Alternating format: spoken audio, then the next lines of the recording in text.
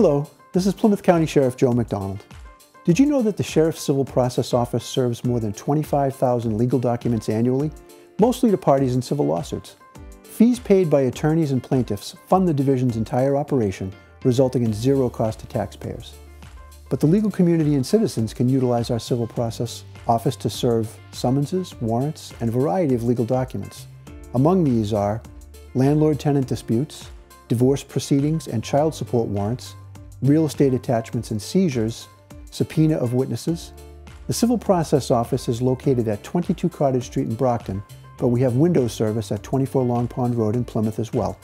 If we can help you, please contact us at 508-580-2110 or email us or visit us at pcsdma.org. Civil Process. Thank you.